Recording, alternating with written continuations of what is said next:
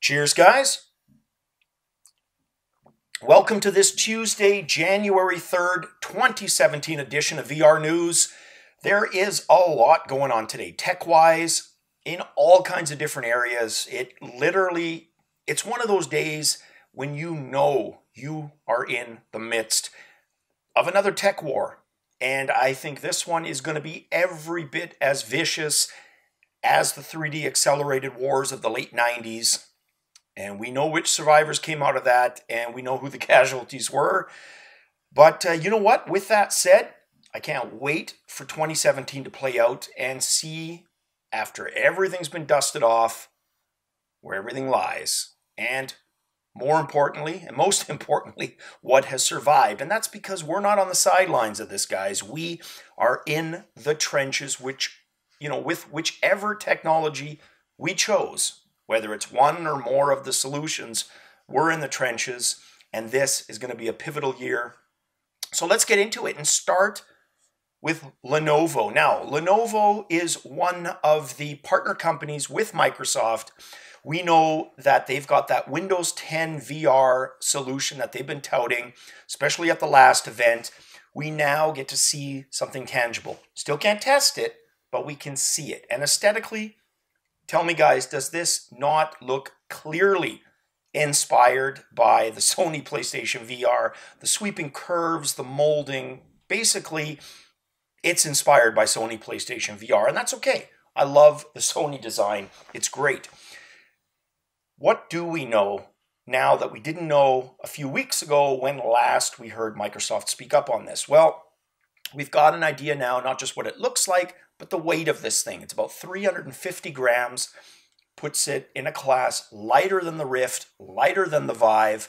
We also know the price between three and four hundred dollars according to Lenovo, but closer to 300. And really, guys, that is marketing speak for 349 99 US. That's really all that is. Now, what else do we know? We know some more specs. 1400 by 1400 per eye as opposed to the 1080 by 1200 we currently have. So the question begs, is Microsoft's minimum specification going to be able to power that adequately? We're going to have to wait and see because to me that seems awfully low, but doable, but we'll find out. There's still a lot we don't know, including the elephant in the room tracking. Because that's huge, because these guys are going with a completely different tracking technology. They're going with inside out as opposed to outside in that we experience with the uh, Vive and the Rift. And we have yet to see it in action. You know, verifiable action where someone or a publication we know has been able to test it and take it for a spin. So it'll be interesting. So we know a little bit more, like I said, aesthetics, weight, price, supposed features, some specs, the real meaty stuff. I think we're going to know a little bit more during CES 2017, but there will be more waiting to come, I have no doubt. Now, if you are going to CES 2017, speaking of that event, The Verge who I got that last article from, and JetBlue are doing kind of a co promotion for a few of the flights to Vegas for that event. They're going to be handing out Google Cardboard style HMDs. They've also said that even if you get in on a flight that doesn't offer those, their Wi Fi is 360 streaming friendly. So that was kind of cool. Be interesting if anyone watching this happens to be on one of those JetBlue flights. Would love to hear from you. Now, next story Hubblo announcing a 360 degree VR camera. Now, when I said earlier we are in the midst of a war, I was not kidding. We have so much variety. Some of that variety is getting gobbled up through acquisition, like some of the eye tracking acquisitions we've seen.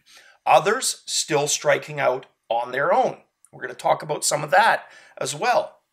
But this company well, they're targeting the 360 degree camera market, and they're doing it pretty convincingly based on specs and price. So, Hubblo is the company, they are Hong Kong based. Get a load of this. So, this camera can do 4K streaming and recording. It has three pairs of 200 degree fisheye cameras for what they're calling a 360 degree panoramic view. And there are sensors on each camera providing a high level of image capture and stereoscopic output accounts for left and right eye movement, creating true life depth perception for a fully immersive 3D experience. So these things sound terrific. And admittedly, they sound pretty high end. So, what's the price? And that's where my mind was kind of taken aback a bit because the price shocked me. 1000 US. Basically, pr- twice the price of a Gear 360 for functionality way closer to the Nokia Ozo than the Gear 360 for 45 times less the price as the Ozo. Now, what's going to be interesting to me, this is a Hong Kong company, about 25 people, how good ultimately their software is, because that's a huge strength for Nokia is their software bundle and the software that stitches it together. It's high quality. Is Hubblo's going to be as high quality? And visually, where is that quality going to slot in? Is it going to be closer to 360 or closer to Ozo? If it's closer to Ozo, they got a hell of a product on their hand at that price point. And I would love to see, will love to see Nokia's response if in fact they can approach that quality. Spec wise, they should be able to. So that'll be an interesting story to follow. Next up, Qualcomm. Supposedly, and I say supposedly, guys, because this kind of crap just makes me so skeptical. I know marketing to a point, horrible at self promotion, perhaps, but work very closely in IT with the marketing departments. And when I hear about these leaked blog posts that coincidentally happen about a week before an event, I kind of wonder really leaked or intentional marketing? And I'm kind of leaning, honestly, towards intentional marketing because supposedly at the event, CES 2017, when they're going to formally announce this uh, chip, the specs get leaked. All right. To get people excited? I think so. So, their new SoC, which is system on a chip, it's called the uh, new Snapdragon 835 mobile processor. It's specifically designed for AR VR, 30% smaller, 27% more powerful, and 40% more efficient. So, longer battery life, runs cooler, etc., etc. Also manufactured by Samsung to 10 nanometer fabrication process, which is awesome. That is pretty damn cool.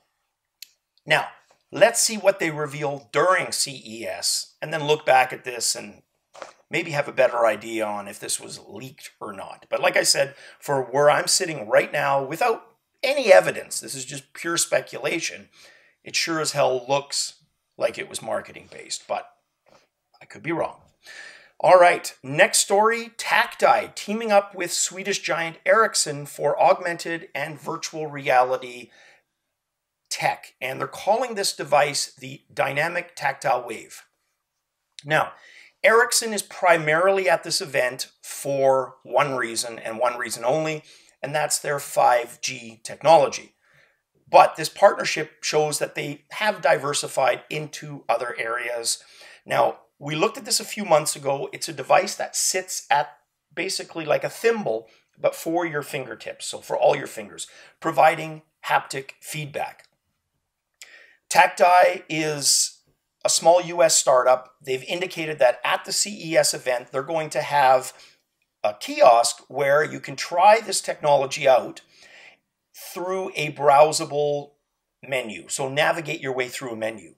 Not only will you be able to do that, it will provide tactile haptic feedback. So you'll have navigational feedback while you're kind of going through the navigation system. So very cool.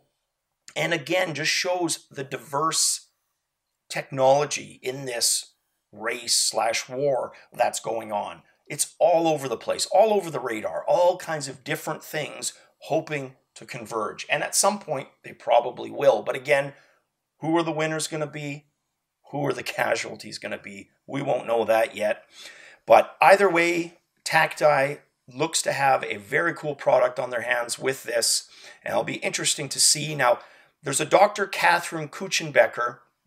She has spent 15 years researching haptics. She works for this company, uh, Tactai, and she said the haptic feedback is so good on this device.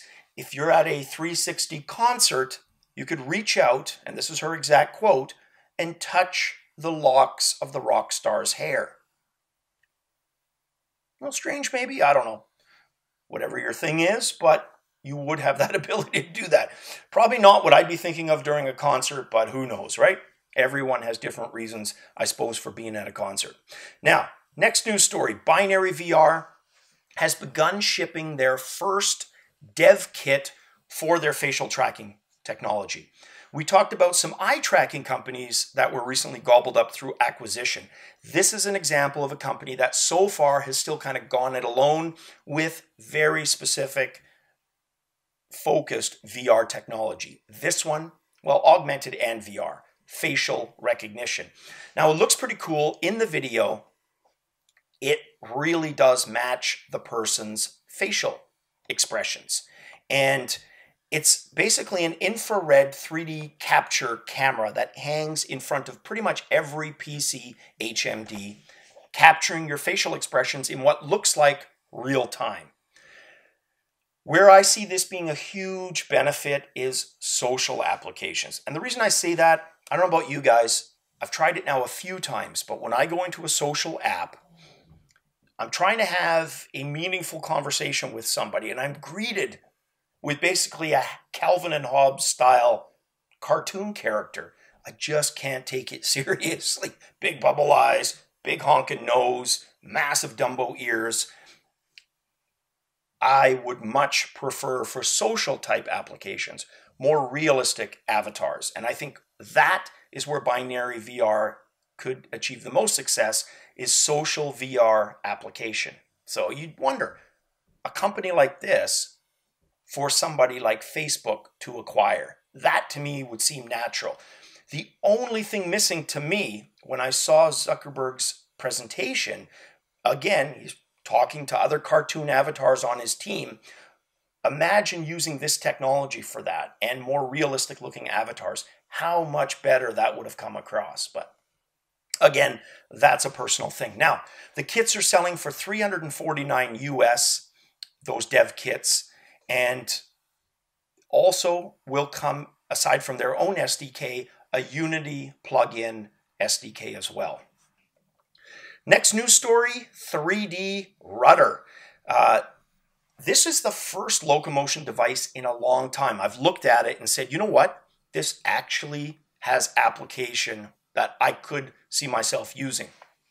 What I like about it is it's a locomotion device and it looks a lot like those self balancing yoga style discs, right? You know, where you try to get your balance with two feet as a form of exercise. It looks a lot like that, except you operate it from a seated position.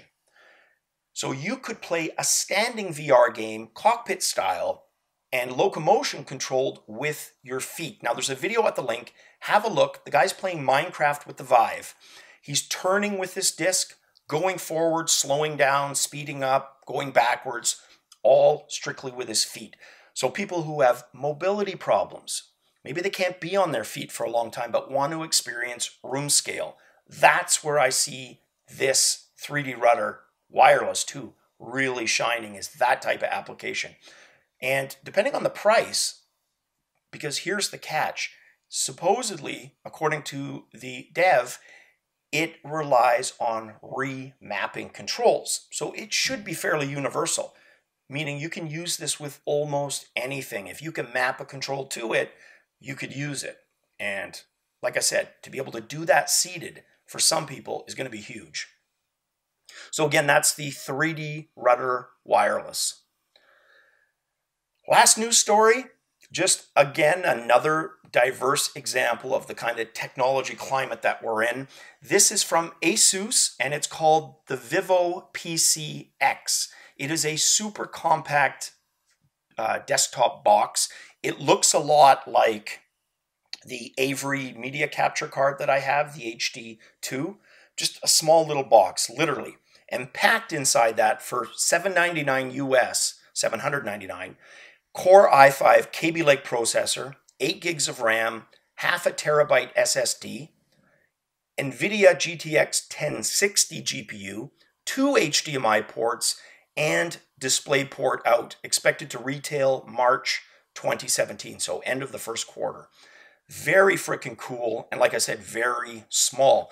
Now they have a desktop variant that is way more powerful. It's got an obscene amount of RAM, like 64 gigs, the 1080 version of the card, obviously full size. But for what this provides you, especially with that 1060, not a bad entry solution that's small that you could take out with you.